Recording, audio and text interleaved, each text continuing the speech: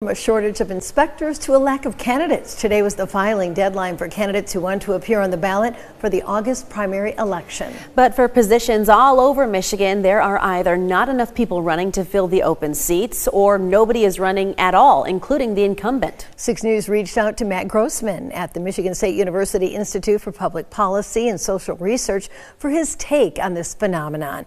He says while there are times when open seats lack competition, even between parties, it's a bad sign when nobody wants to run at all.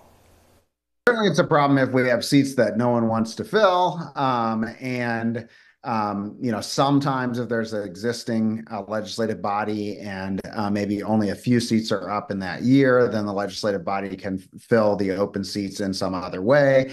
Um, so it's not always, um, you know, an unsolvable problem. But I would say it's not a good sign uh, if people aren't willing to to file to to fill the available uh, seats.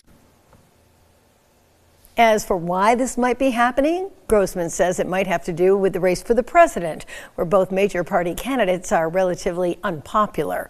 The August election is for partisan races, and anyone who runs is likely to be associated with their party's candidates higher up on the ballot.